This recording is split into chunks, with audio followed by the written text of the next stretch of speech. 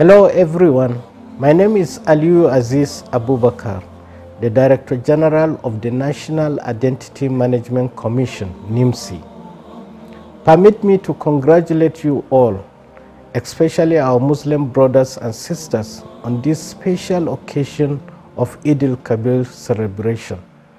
May Allah subhanahu wa ta'ala accept our sacrifices, our acts of worship and bestow upon us and our beloved country, Nigeria, His bountiful blessings. Amen.